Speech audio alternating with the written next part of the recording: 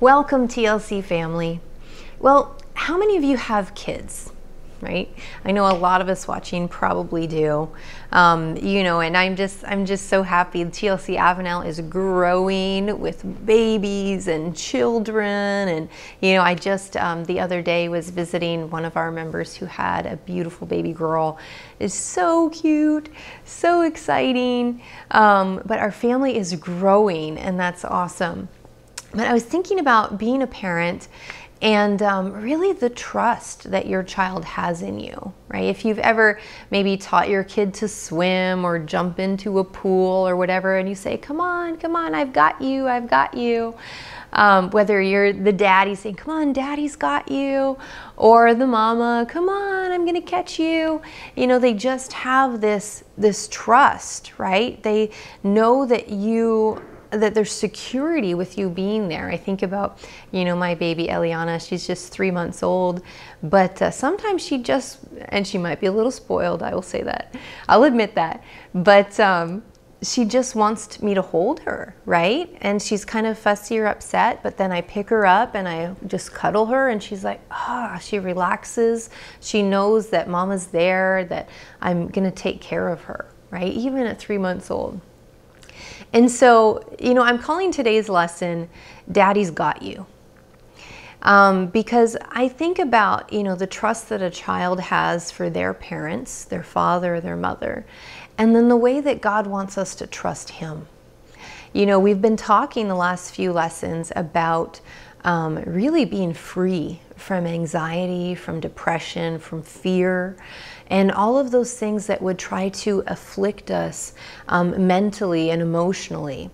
And uh, we talked about last week from Isaiah, we looked at several verses that were all pointing to the work of Christ, to what Jesus would do for us and how he bore that on our behalf, that he bore griefs and sorrows and sicknesses and pains. And, you know, he really part of his salvation for us. It was a, a total, complete package, right? Salvation included a sound mind, included power and love and not fear, right? We were talking last time about the power suit, how we can resist fear, instead, put on the power suit and the love shirt and the sound mind hat, because that's what He's paid for us to have and partake of every single day. And so as we think about, you know, God is our Father, and knowing that He is the perfect Father, that He loves us unconditionally, that He loves us no matter what, He's got us. That should bring peace and security, right? Let's look at um, Luke 12 32. Jesus is teaching here. Luke 12 32 says, Do not fear, little flock for it is your Father's good pleasure to give you the kingdom. Jesus is teaching here and says, Don't fear, guys. Little flock who's taken care of by the shepherd, right? Don't fear. Why? Because it's your Father's good pleasure to give you the kingdom. Because Daddy wants to give you everything you need and some. He wants to provide for you right?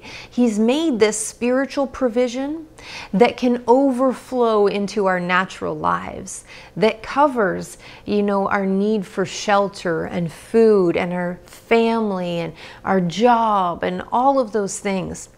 That really, the salvation that happened on the inside, He wants us to work out, right? To experience everything that He's paid for now here in this life every moment of our life, for it to be blessed, for it to be, for you to be successful, uh, for you to be at peace, right? For there to be calmness in your mind and in your life and in your circumstances.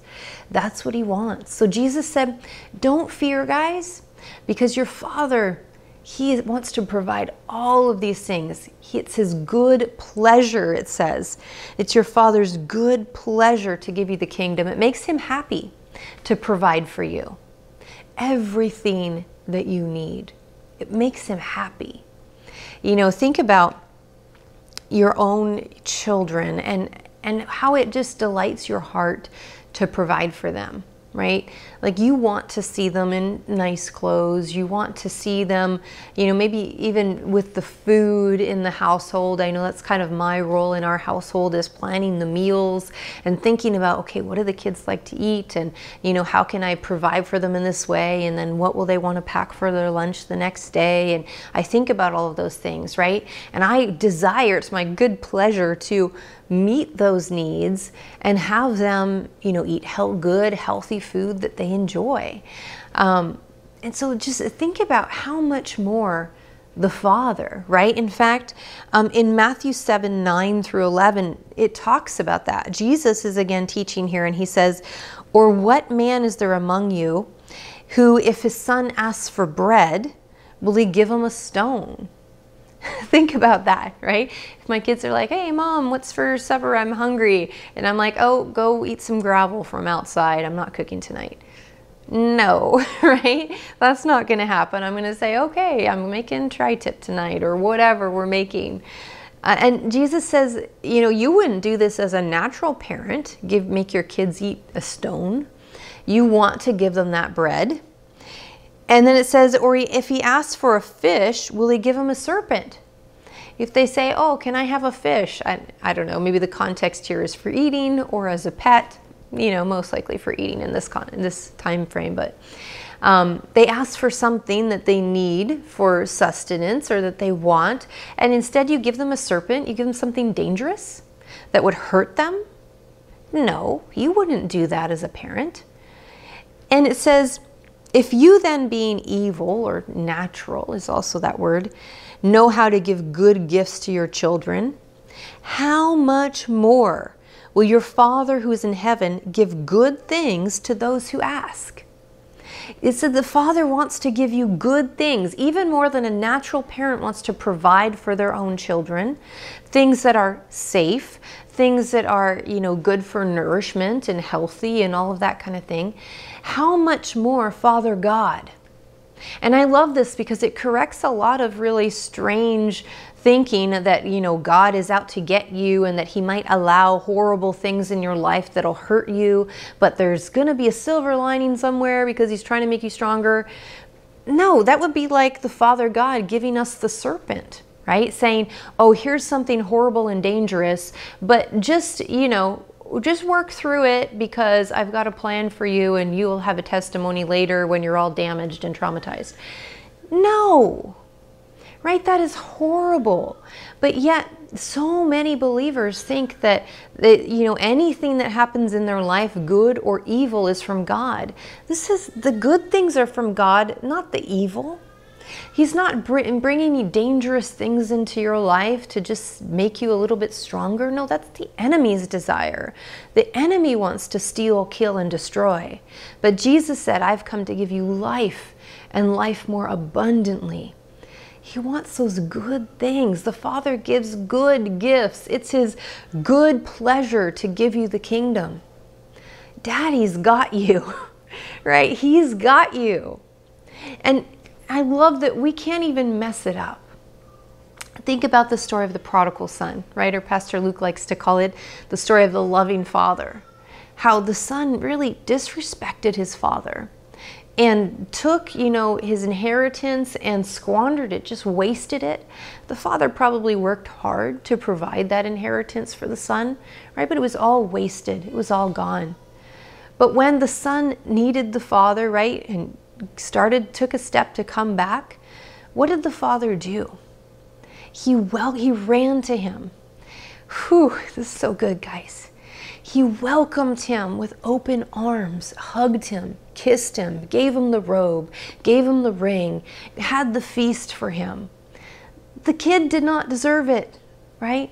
And the father might have even, you know, had the memories of being rejected and being dishonored, but it didn't matter his love, his love for the son, his love for the kid, just superseded any wrong.